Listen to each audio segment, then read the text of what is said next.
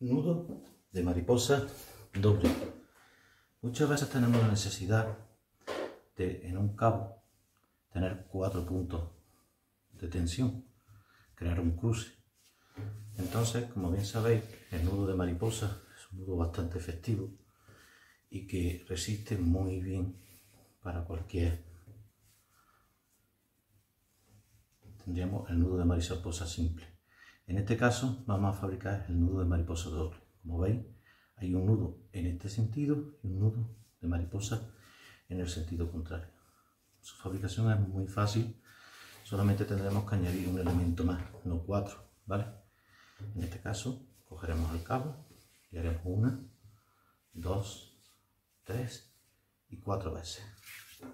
Cogeremos la parte de fuera del cabo y lo pasaremos dentro parte de fuera del cabo y la pasaremos dentro, creando holgura, creando holgura, a continuación pasaremos la parte del extremo a un lado y este extremo al otro lado, ¿vale? Ya vamos creando la forma del nudo de mariposa.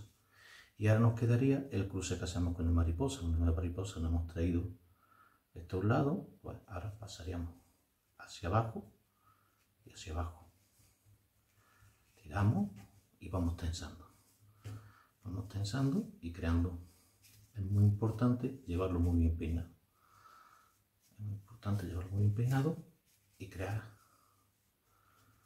el nudo de mariposa doble. Muy práctico. Nudo muy práctico para campamento, para trabajo en, en obra, para, es muy práctico para poder crear varias fijaciones, ¿vale? Creamos dos fijaciones, una a cada lado, y, o crear un cruce con cuerdas, que también puede ser bastante, bastante dinámico.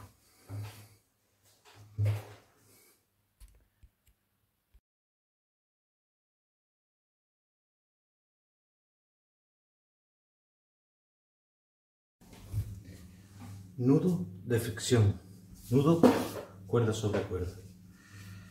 Este nudo se utilizará principalmente para utilizar una primera cuerda que hemos puesto en horizontal o en vertical preferentemente y en ella necesitamos instalar instalar algo para ir colgando y deslizando porque estamos haciendo un trabajo en vertical y necesitamos llevar algo en ella o colgar algo de peso de la cuerda varios objetos. ¿no? La única función que tendríamos sería hacer un nudo de fricción.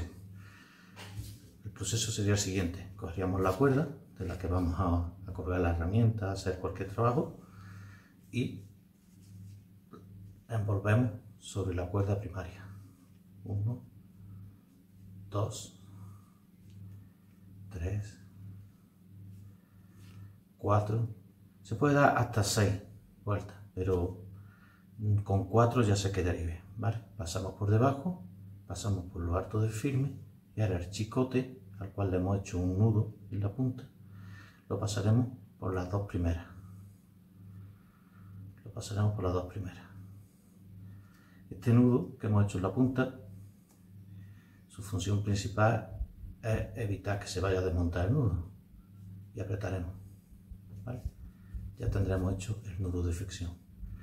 Cuando tiramos, como se puede ver, se crea fricción y no se, y no se desliza. Sin embargo, si vamos trabajando y queremos, y queremos desplazar el nudo, no tendremos ningún problema, tanto para arriba como para abajo. Solamente se crea la fricción cuando se tira. En este, este punto podemos poner lo que queramos, una herramienta o, o para colgar una herramienta, lo que, lo que queramos, no habría problema. Siempre sería perfectamente trabajable. ¿Vale? Espero que os guste.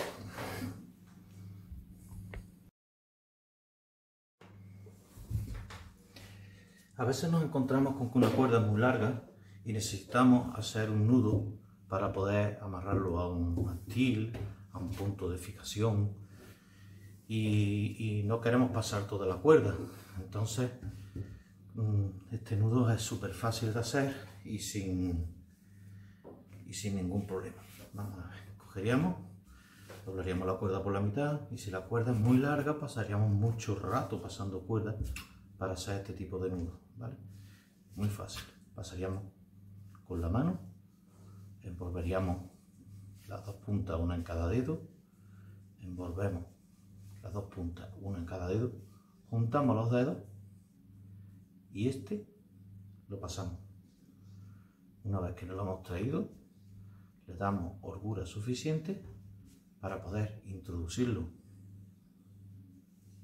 en el sitio que queramos fijarlo, una baranda, un astil, en el campo, cualquier punto, y ya tendríamos hecho un nudo de fijación, de fricción y rápido.